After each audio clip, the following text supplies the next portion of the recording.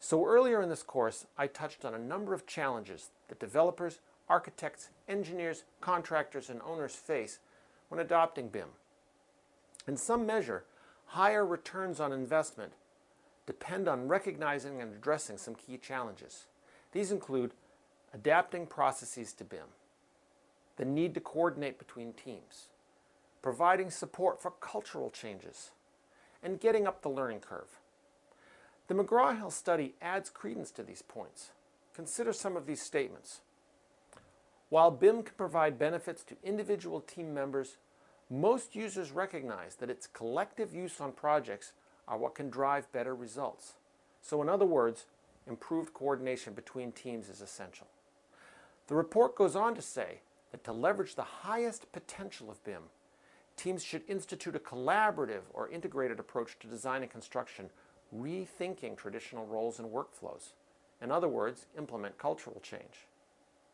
To find better ways and faster ways to communicate ideas, reduce errors, and increase productivity, i.e.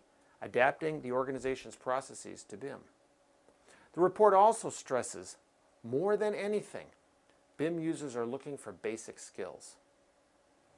So here's a checklist of things to consider to really help drive a higher return on investment for BIM. First, invest in your own and your organization's knowledge of BIM and model-based design. BIM in your organization needs to be more than a marketing buzzword. Also, select your partners carefully. In the study, 60% of users say that having more BIM knowledgeable companies on a project is a key to success. Work out your processes and procedures between partners. This includes both software and organizational interoperability. Have a plan and work out the issues on smaller projects first. Choose your designers who will be the BIM experts. Your project's design professionals need to really know their stuff. These folks are in the hot seat to get the model right, which is a critical success factor for model-based design projects.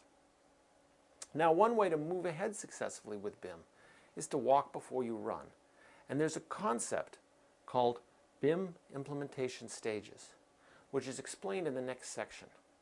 This section defines a recommended path for you to begin walking.